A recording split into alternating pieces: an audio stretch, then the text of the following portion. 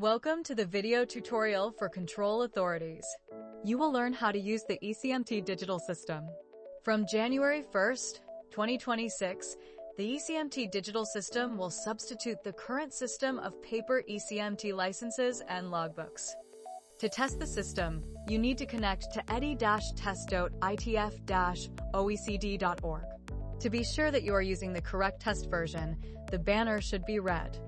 If you are the main responsible of a control authority in your country, the national authority in charge of issuing the ECMT licenses should open an account for you. If you are working in any subdivision, the Central Control Authority should open an account for you. Once your account is created, you will be able to create other accounts within your authority. Once your account has been created, you will receive an email with your username and password. At the first login, you will receive a PIN code and you will then change the password. If you don't have this email, please contact your national authority.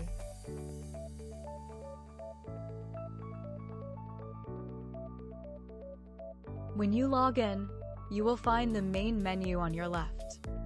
Click on Workplace section to manage your subdivisions, team accounts, your account, and perform a control. Click on the Incidents section to contact the service provider. Click on My Profile section to manage your personal account. Additionally, you will find manuals and video tutorials in the Help section. To manage your account, go to the section My Profile.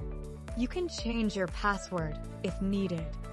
By default, if your account has been created by the National Issuing Authority, this authority can manage your account. There is the possibility of forbidding the National Issuing Authority to manage your account. Go to section Workplace and then Profile. Under Management Type, choose Disable the possibility for the NIA to close slash suspend slash disable or do anything else to CA accounts. Then click Save.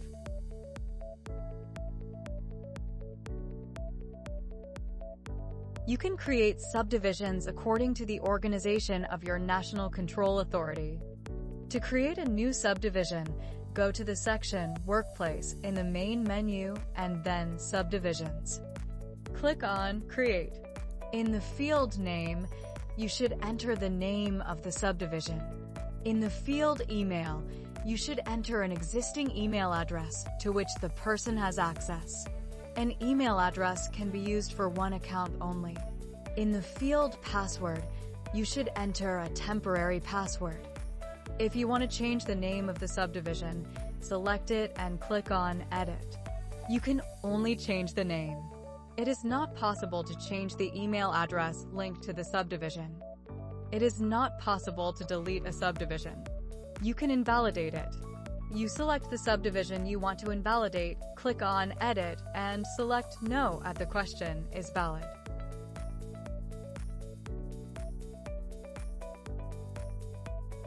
As Control Authority Administrator, you can create new accounts for other administrators in your division and for control officers. Go the section Workplace in the main menu and then Users. Click on New User. In the field Email, you should enter an existing email address to which the person has access. An email address can be used for one account only. In the field Password, you should enter a temporary password. In the field Role, you should choose between Administrator and Control Officer. The account as administrator will have the right to create new accounts and perform controls, while the account as officer can only perform controls.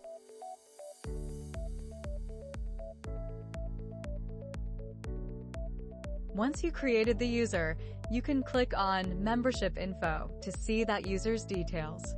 From there, you can disable the user in case the person is no longer employed by your company. If you disable a user, you can enable it again in the future. It is not possible to delete an account from the system. If you disable a user, it will be deleted automatically after a period of 12 months. The account will also be deleted if a user does not connect for 12 months. From Membership Info, You can also change the role from administrator to control officer and vice versa. If you need to reset the password for a user, click on More Actions and then Reset Password. A user can be blocked if it fails to log in too many times. You can unblock it by clicking on More Actions and then Unlock User.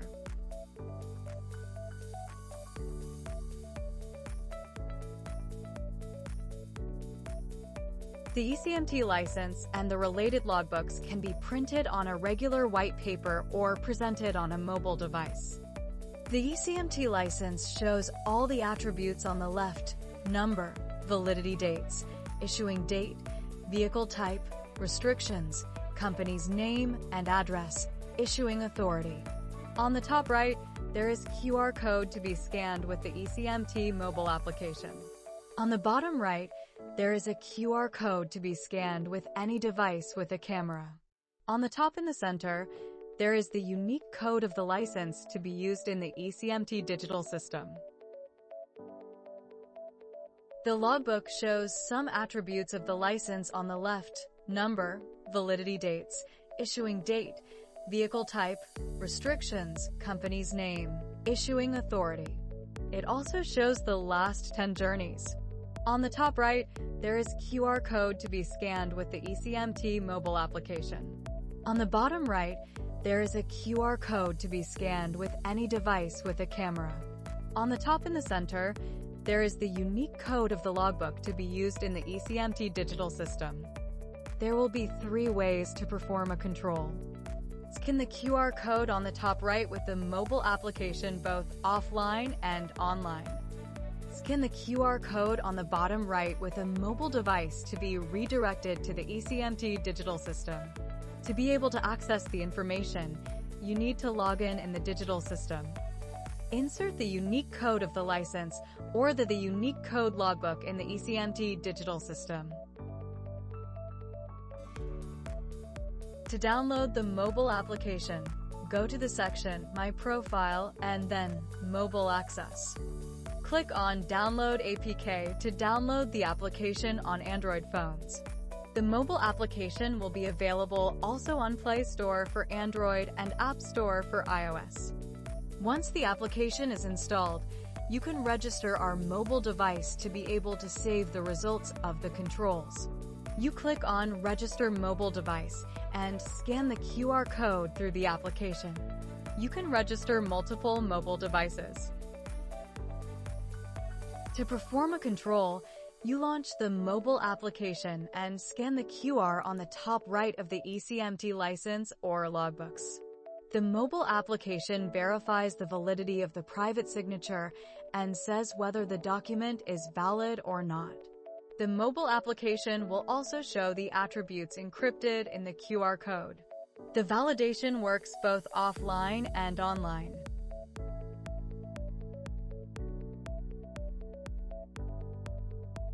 To perform a control through the ECMT digital system, go to the section Workplace and then Controls. In this section, you can see all the performed controls with indication of unique codes, search results, control results, and comments.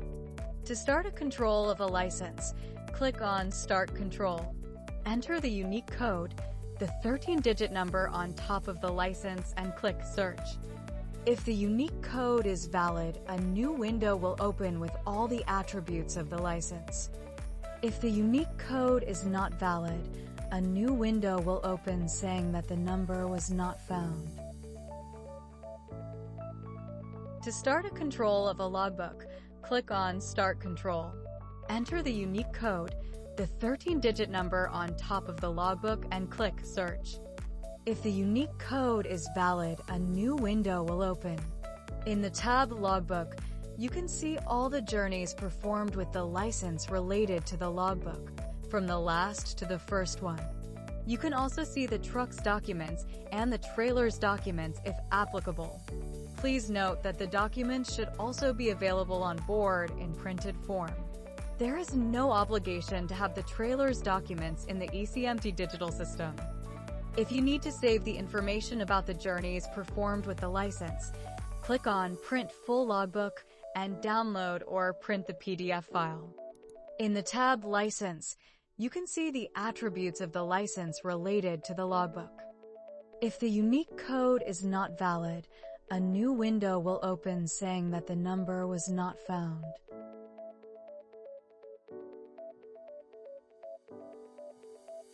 Once you perform a control of a logbook, you can decide whether to save the result or not.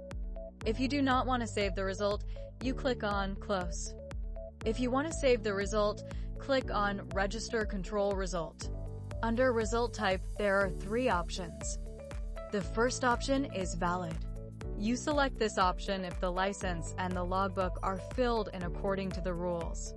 Once you click Finish, the system generates a report that can be printed or downloaded. The second option is Suspicion.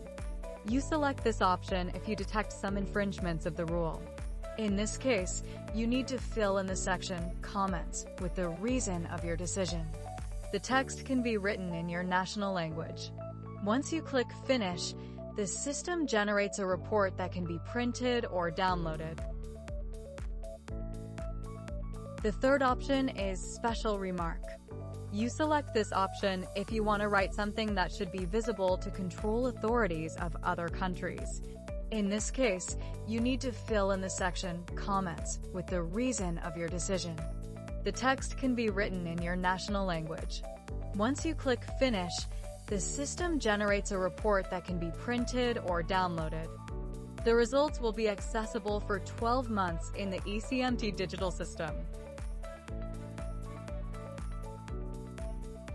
As administrator, you can decide who has access to the results of the controls performed by your team according to the national legislation. Go the section Workplace and then Profile. Under Search Type, there are three options. The first option is the Control Authority Administrator can see all control results and control officers can see all control results. You select this option if you want to allow everyone in the same division to access the control results. The second option is the Control Authority Administrator can see all control results. Control officers can see only their controls. You select this option if you want to allow only the administrators to access the control results, but not the other control officers in the team. The third option is the control authority administrators cannot see the results of the controls. Control officers can only see their controls. You select this option if only the control officer performing the control can see the results and no one else.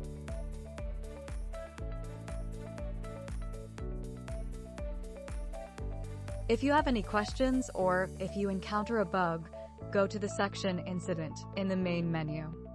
To open an incident, click on Post an Incident. In the field Incident Type, specify the nature of your request. The ITF will receive a notification and will react to your request.